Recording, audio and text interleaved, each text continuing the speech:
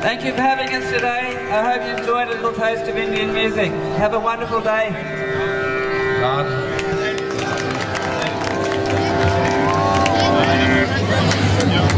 Ladies and gentlemen, let's hear it for the God Particle.